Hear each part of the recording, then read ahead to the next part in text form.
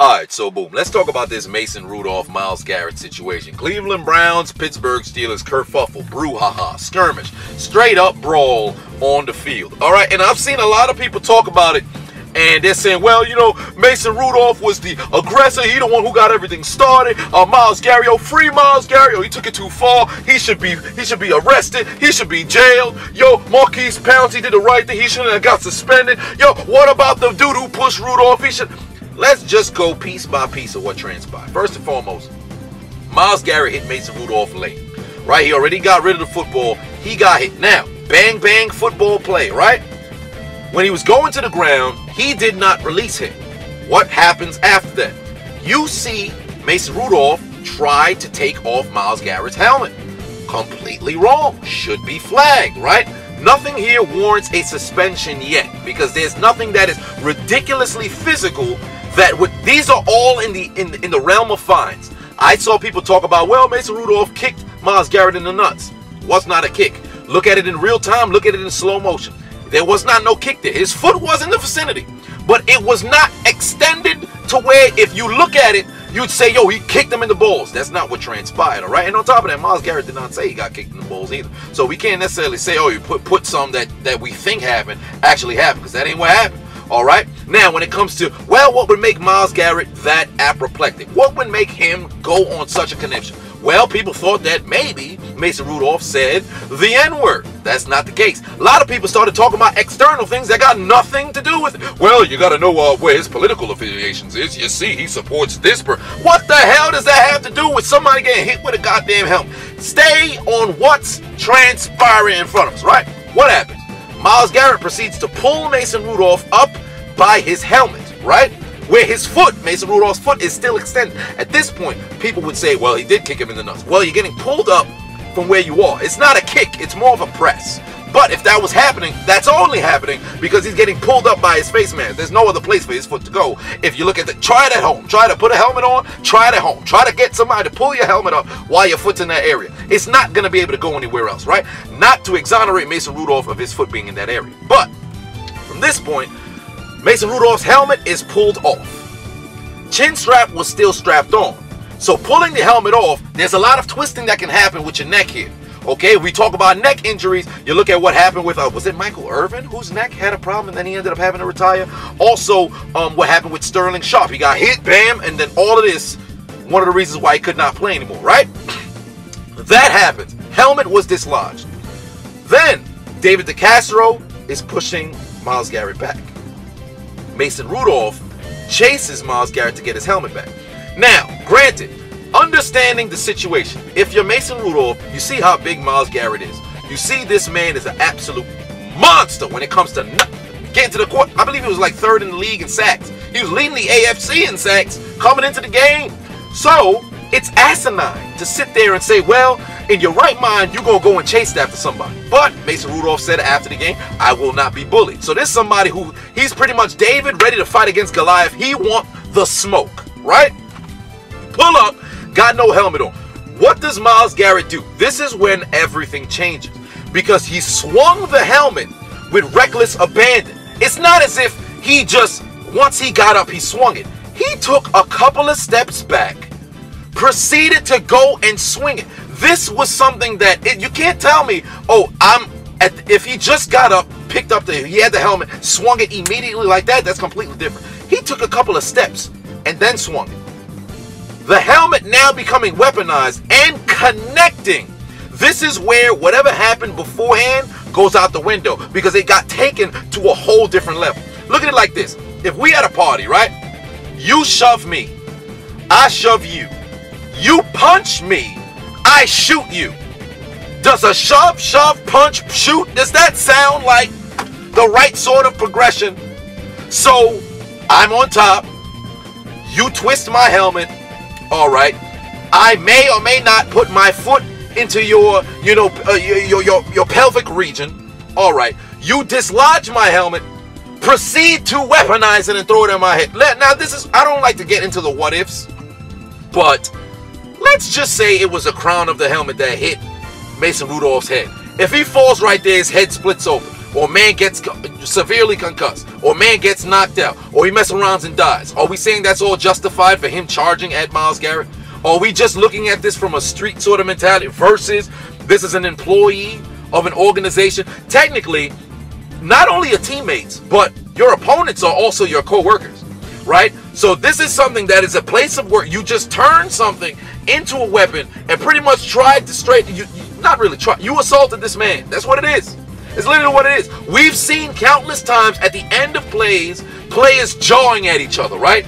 There's been times where players have taken helmets off. You've seen Cortland Finnegan versus Andre Johnson. They took their stuff and started fighting. Not once did somebody grab the. This did not happen. There's a huge difference. All right? Now, once that transpired, Maurkice Pouncey comes and he starts doing the ground and pound, trying to sell Beats by Dre shortly before Christmas or Black Friday to Myles Garrett. Okay, takes him to the ground, starts punching and kicking. What does this happen? Because offensive linemen protect their quarterbacks. Was he wrong? Yes. Was it justified? Absolutely. That attempt of the kick to the head, that's kind of far. But the punching and kicking, I understand. Should he be suspended? Without question. Him being suspended, do I think it was wrong? No, not at all. Should he appeal it and probably win? He'll probably get reduced from three games to one. But from where we stand and what transpired, a lot of people talking about, well, Myles Garrett had to defend himself. He was behind two offensive linemen. It's not like those two offensive linemen were straight up beating him up once they picked him up. That's not what happened. That's not what happened. It's not like someone was getting shoved left and right. David DeCastro was simply pushing him back. There wasn't no punching or elbowing or nothing like that. All right. The issue was only between Rudolph and Myles Garrett. People calling for Rudolph to be suspended for trying to twist and pull off the helmet. I believe he should be fined without question. A suspension, probably a game. I think it would be a bit excessive, but given what could happen with the twisting of the helmet and the neck and everything, I understand. But to, to say that it warrants the same suspension as Garrett, that's asinine. There's no question that Garrett went way too far. Now, I understand football is a gladiator sport. I get, but you cannot sit here and try to defend somebody swinging a helmet. And this ain't no, well, he's a Pittsburgh Steelers so I love violence in the game. I love people getting knocked out. I love when it's played the right way. But when it comes to fighting and everything, this this going too far. That's like trying to defend Ndamukong Suh for stepping on somebody. That's like trying to defend Albert Hayworth, Albert Haynesworth for giving somebody the goddamn curb stomp in 2004. This this this is going way. There's nothing that you can do to defend it. Did Mason Rudolph get everything started with trying to, twist to, to twist the helmet? Without question. However, does that warrant the removal of his helmet only to get freaking whack-a-mole on the top of his head and just disregard the danger of what could have transpired? No. So, bottom line, Garrett being suspended for the entire season and having to reappeal for next year, I think that's warranted. Pouncey getting three games, I get it. And more importantly, um, that other Browns player, I forget what his name was, who ran up and then shoved Rudolph, you a clown, bro. You a punk. Bottom line, what was the purpose of that? Then he says, "Oh, I was trying to, you know, protect my boy." How? Mason Rudolph turned around almost as if he was looking towards the ref, like, "Yo, I just got hit in the head and then got pushed." That is that's inexcusable. And he only got suspended for a game. I would have suspended him for maybe like three. I'd give him the same thing that Pouncey got. Because what what are you actually doing? That's like somebody who fighting on like East 58th. They fight on East 58th. Somebody get pushed on East 59th and then they talking about, yo, I was just trying to defend the dude on East 50. Goddamn battery died. But as I was saying, the fight is over there. I'm not understanding the mindset that this brother had. But all in all, Myles Garrett took it way too far. And people keep looking, as I said earlier, people keep looking at it from the streets mindset. Yo, if you don't start nothing, there won't be nothing. There's a difference. There's a huge difference. That's pull. That's like pulling a gun to a damn sword fight. That's like freaking what what was I, I I don't understand how anybody can try to justify this man's actions. Like I, I don't get it. I really don't. Do I am I saying that Mason Rudolph is innocent? No. Two things can be right. Myles Garrett can be wrong. Mason Rudolph can also be wrong in the same breath. But we can also acknowledge the fact that the end result does not justify the catalyst for the entire situation. Okay, it don't have to be yo, you want this side or you want this side. Just acknowledge if something is wrong and Garrett took it way too far and him being suspended for the rest of the season. He lucky he not getting sued for, you know, battery or assault or deadly weapon or all this other stuff. If Rudolph went to his lawyers and said, yo, I want this man jailed for his action, he literally has a case. Literally has a case. I don't think we've ever seen anything like this in the NFL. I don't think we ever have. We've seen brawls before. We've seen people get stomped before. This is something completely different.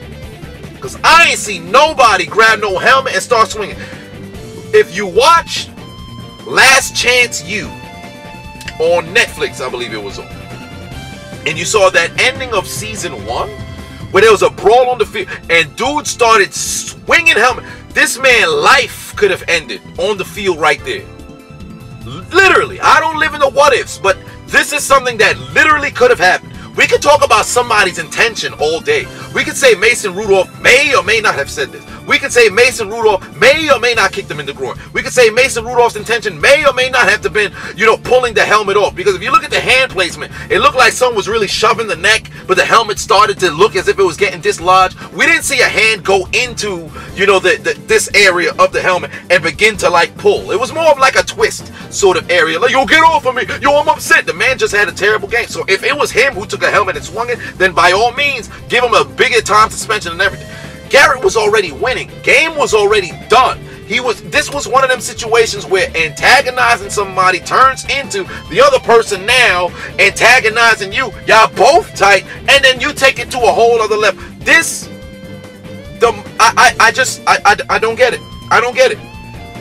Ending thoughts, Myles Garrett, suspension for the rest of the year. He got to appeal next year. I agree with. Maurkice Pouncey, three game suspension. I understand why. He's probably going to appeal it, get maybe a game or two games, whatever the case is. But given the fallout, him punching and kicking Myles Garrett, I support him in doing it because you got to support your boy. But him getting suspended, I respect it. Um, the the the other guy who shoved Rudolph after the fact, I don't think somebody should only be suspended for a game. I'd give him two, three games just for that because it had nothing to do with nothing. And Mason Rudolph, I think he should probably get a game for trying to dislodge the helmet.